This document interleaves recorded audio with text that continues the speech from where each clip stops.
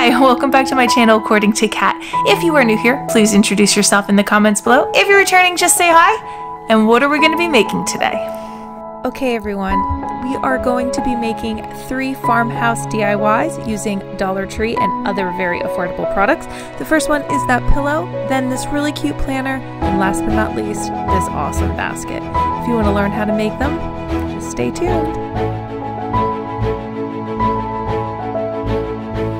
If you'd like to know what supplies I've used, check out the description box below. And with all that being said, let's get right into the video.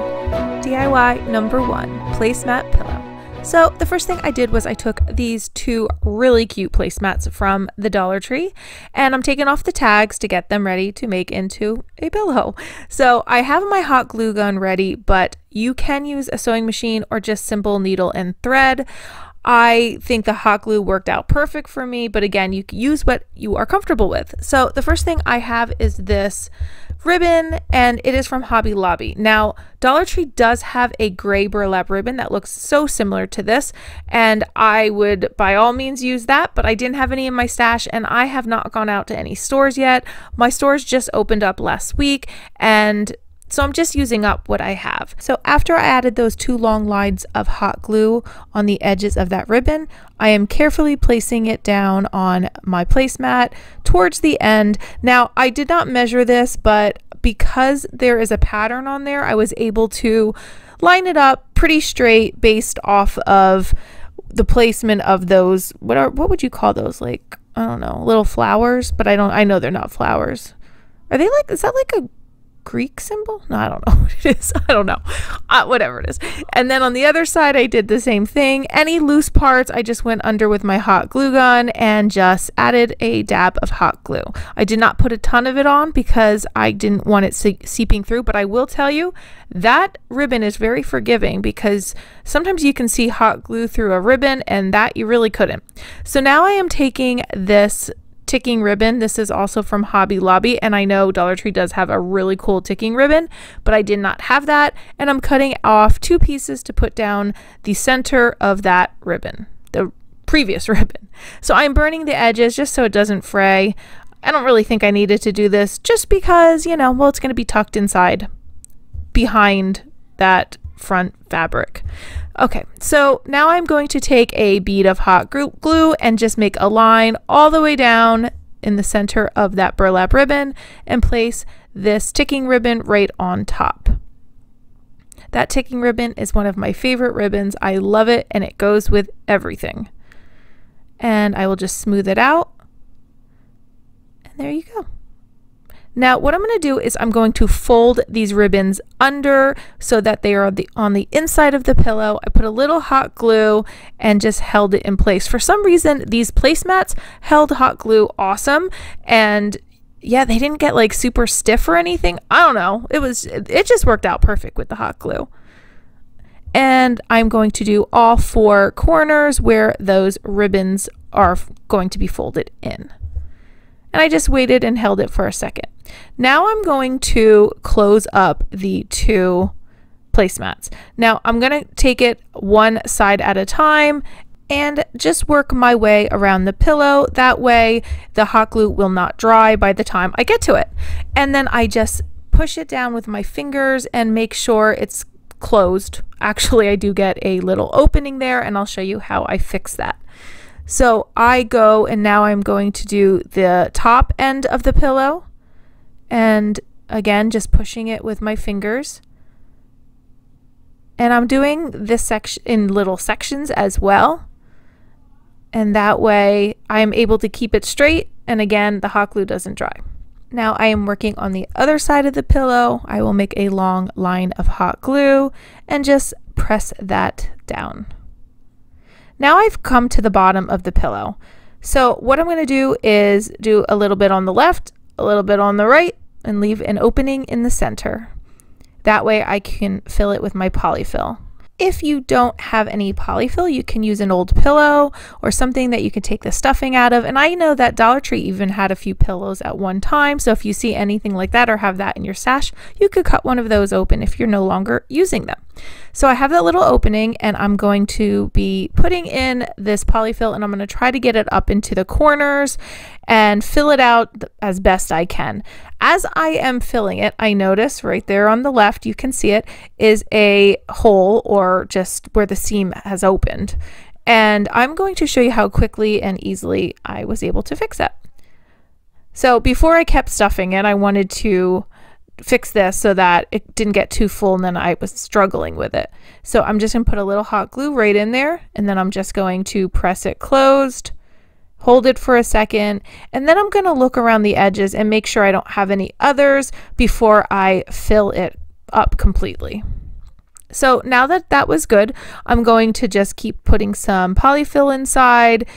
However, now I don't want it too full. I don't like pillows that are like puffy puffy i don't i don't know i just don't like that i like when there's like you can do that little karate chop at the top and so they have a little give so that's how i made this pillow but you can fill it as much or as little as you'd like now on the bottom, I'm doing the same thing. I'm doing a section at a time just so that I can get that nice and close and that there are no seams opening. And again, this fabric that's on this placemat worked so well with the hot glue. And because the seams were already on that placemat, it really looks like this pillow was sewn. And I just love how it turned out. I hope you do as well.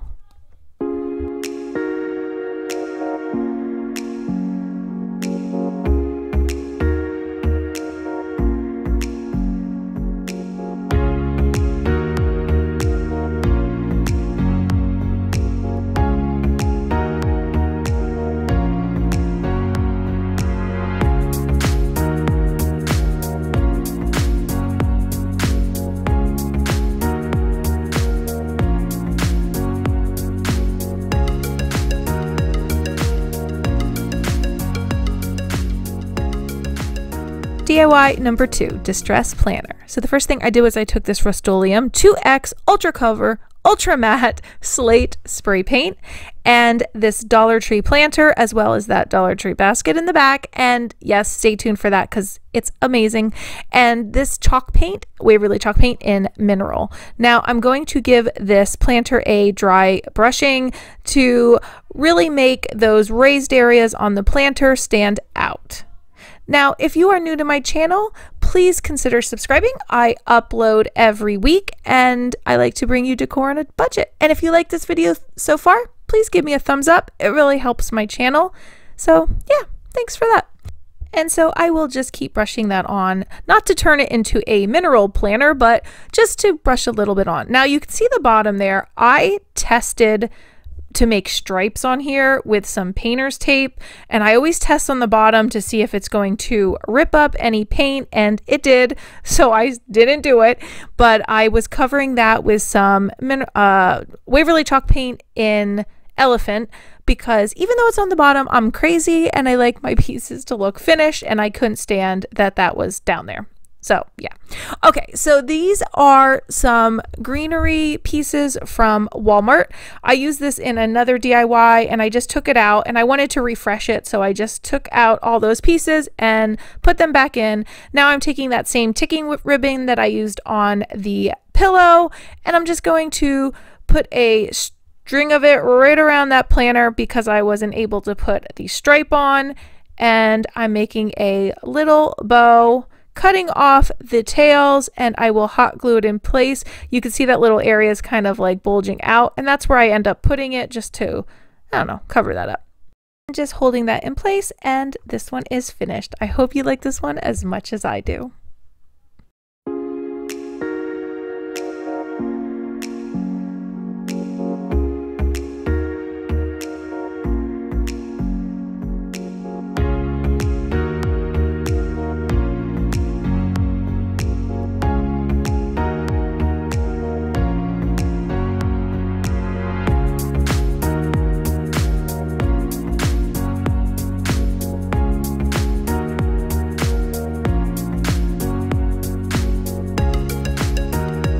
DIY number three basket with the faux leather handles. Oh, I love this one. Okay, so I took this Dollar Tree basket I had for a while. It is navy blue, but I wanted it to kind of match everything else I was doing today. So I decided to paint it that same uh, slate color that I used on the planter. Now I am using this same ribbon. Again, you can use the ribbon from the Dollar Tree. I did not have any, but it looks almost the same as this, so you would have been fine. So I am taking a piece and I'm putting it on the back just to hot glue in place. Anytime I hot glued on here, I did it in the back or hid it behind something so you won't see that. And now I'm just weaving it in and out of those plastic rungs. And you can see how I'm doing this. Now, the first time around, like the first time I used the ribbon around, I, I didn't do it the way I would tell you to do it. I kind of just went in and out and then I went back to hot glue, but it was, as you can see, it was very hard to get behind that ribbon to hot glue it in place. So yeah, don't do this. Even though I thought this was the better choice because I thought, oh, I'm just going to go around and I'll just quick weave it in and out and then go back with my hot glue. Yeah, don't do that. All right, so then my idea was I was going to make this whole basket in one direction that same colored ribbon. Well, I'm just cutting off any excess ribbon in the back, just so you know. I did not have enough of that gray ribbon, so you could see here I cut my next piece for the center. And then I see, uh-oh, I don't know if I have enough. And then I don't. I'm just a little short. So I decide I'm going to do it at the top and I will try to find another ribbon to weave through the middle. Okay. So I'm doing the same thing, putting some hot glue right there on the back of that plastic, what should we call those? Rungs? Let's just call them rungs because I don't know what to call them.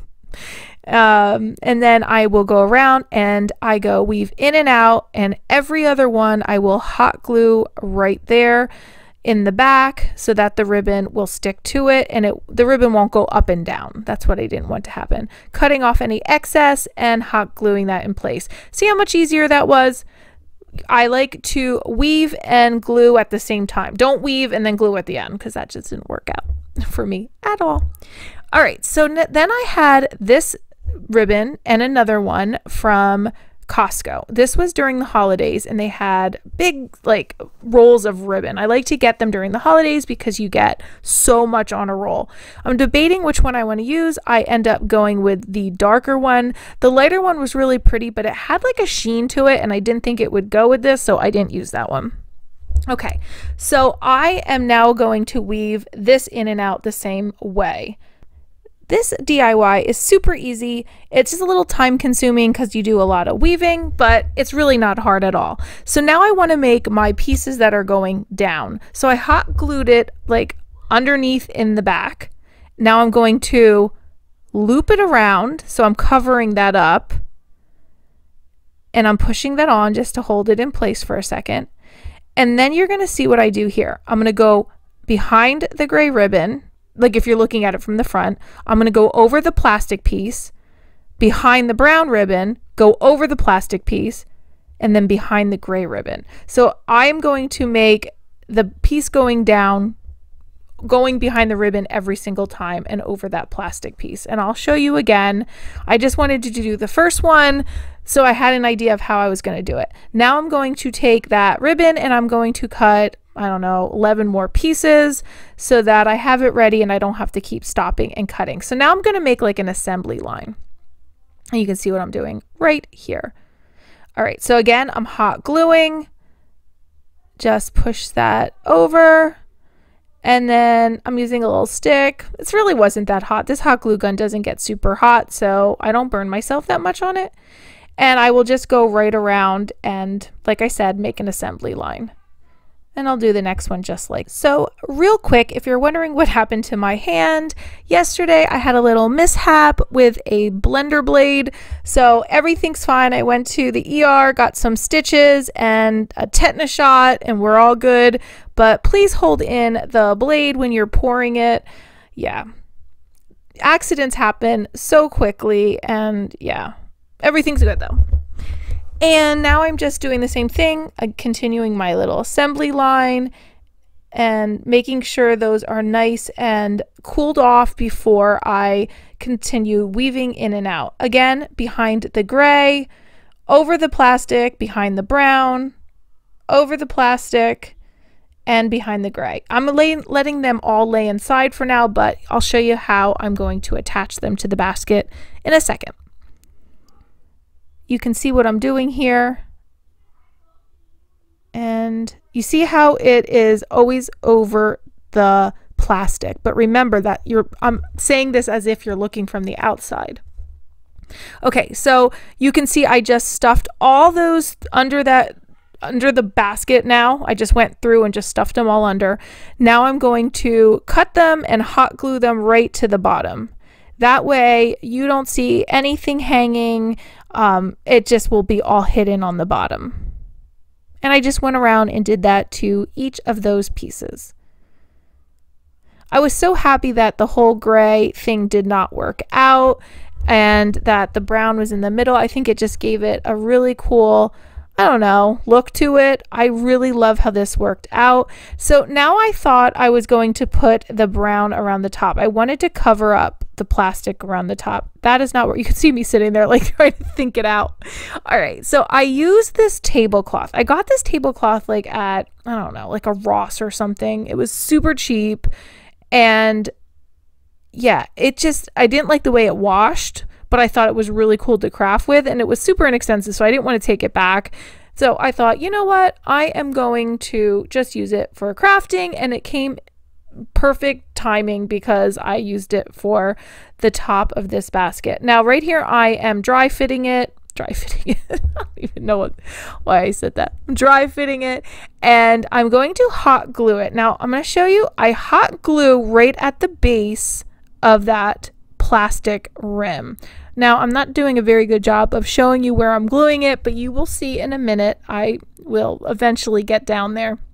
But I am hot gluing it right to the base. I did not worry about the inside yet. I'm only doing the outside.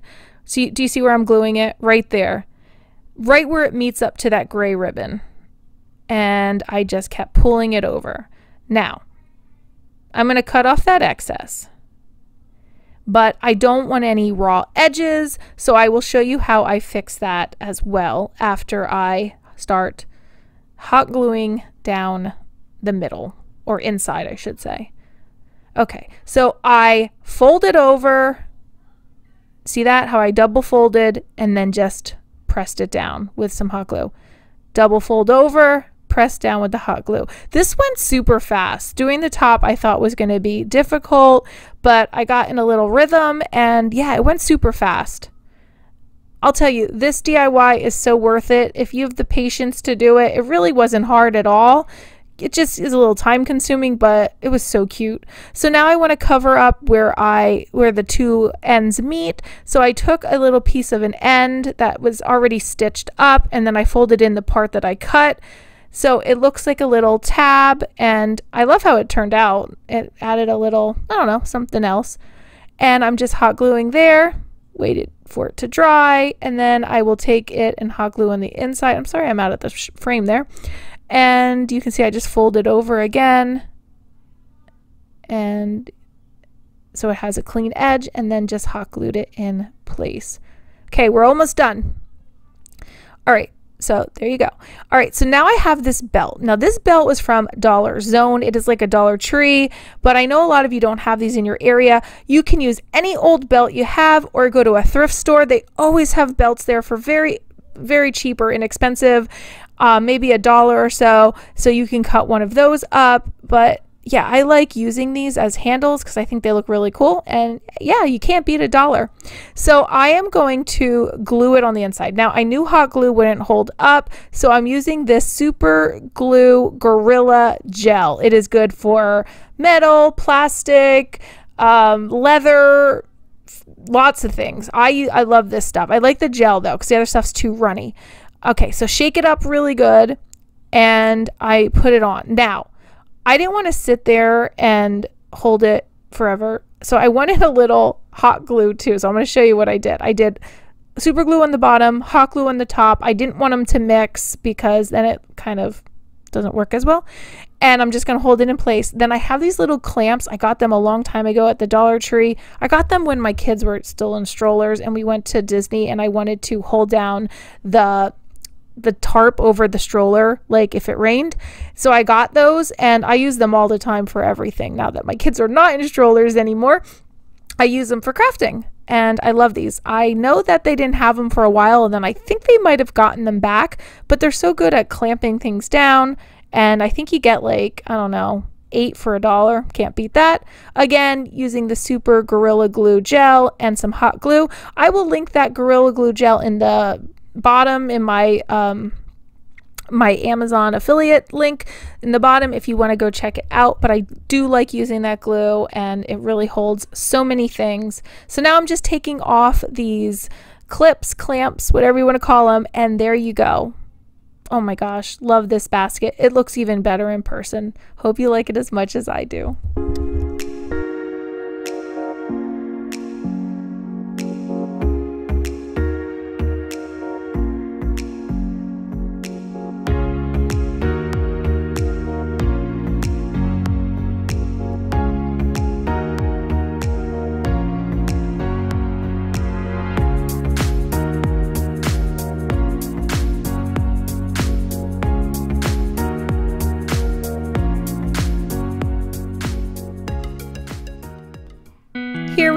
At the final reveal, my favorite part of the video, and we get to do a recap of everything we just made. So the first thing was this really cute placemat pillow, and no, it does not look like you glued two placemats together. It looks really, really nice.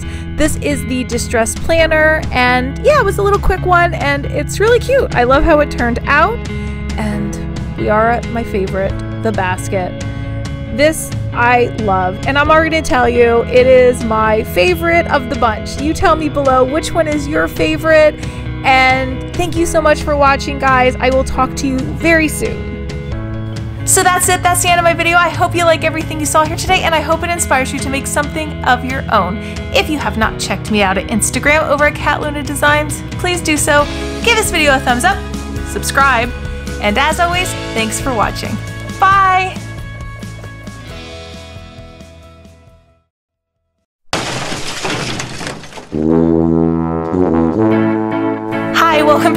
Channel According to Kat. If you are new here, hi, welcome back to my channel According to Kat. I'm Kat. If you are new here, I don't like that. Hi, welcome back to my channel According to Kat. If you are new here, please give this video a thumbs up